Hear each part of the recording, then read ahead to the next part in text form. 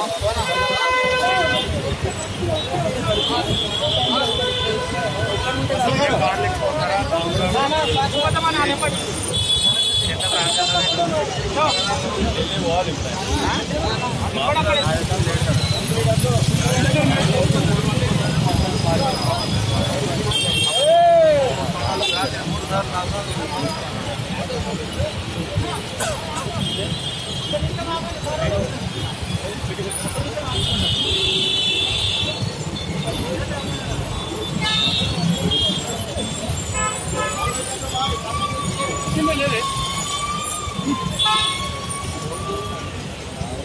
அசாமே இருக்கிறாரு செல்போன்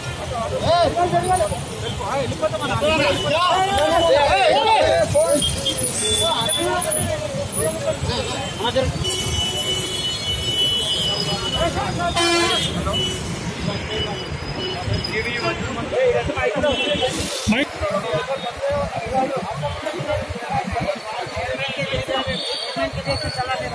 చెప్పాలి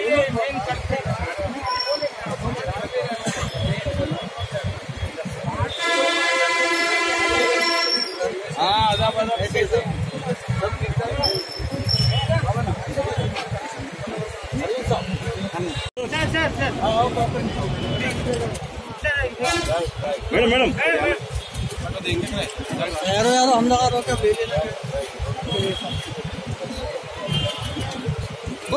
ये कम्युनल राइट जो भी हो रहा है, ये पूरा प्लान है शेड्यूल्ड है। एमआईएम पार्टी इसका, इसके पीछे है और टीआरएस और पूरा पुलिस डिपार्टमेंट इसका सपोर्ट में है। हर हिंदू को पैंसा से निकलने का साजिश है। जो कश्मीर में हुआ डिकेट्स पहले, वो फिर बैंसा में करना चाह रहे हैं। ये खुली बात है, ये दिख रहा है।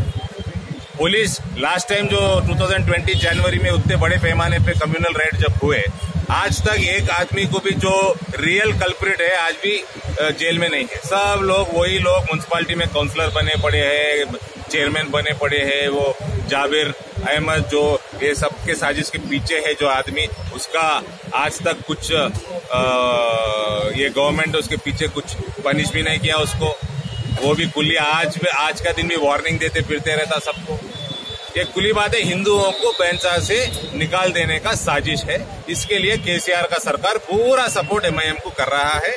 जो दो लोग, जो दो काउंसलर आज अरेस्ट किए, जैसा मेरे को समाचार है, वो भी कितना देर अरेस्ट रखेंगे, उनको कितना देर जेल में रखेंगे, वो देखने की बात है। वो दोनों भी महाराष्ट्र से तड़ी पार किए गए लोग हैं, दोनों भी। उन लोगों को तेलंगाना में लेके आकर एक पॉलिटिकल पार्टी में टिकट देकर एमआईएम से काउंसलर भी कर रहे हैं। क्या कर रहा केसीआर सरकार? और मुझे आज बैंसा जाने नहीं दिए, परसों रात में मेरे को हाउस अरेस्ट करके रखे। मेरे घर के सामने सौ पुलिस लोगों को, सौ से ज़्यादा पुलिस लोगों को लगाए, पुलिस पर्सनल को लगाए। क्यों मैं क्रिमिनल दिख रहा हूँ क्या? आप ठीक है, मैं नहीं जाऊँगा। भाई, केसीआर को कौन रोक रहा भाई, बाहर जा उधर बैंसा जाने। केसीआर जाके देखो आप, देखो। केटीआर क्यों नहीं जा रहा? जाके देखो, पिछले साल भी नहीं गए। वो लोग गए तो भी लॉ एंड ऑर्डर प्रॉब्लम होता क्या? ठीक है, अरविंद गए तो law and order problem situation हो सकता है। केसीआर गए तो भी होता क्या? कब निकलता बाहर केसीआर? फार्म हाउस से। ये केटीआर किसको कहानियाँ बताए? ट्वीट करते रहता।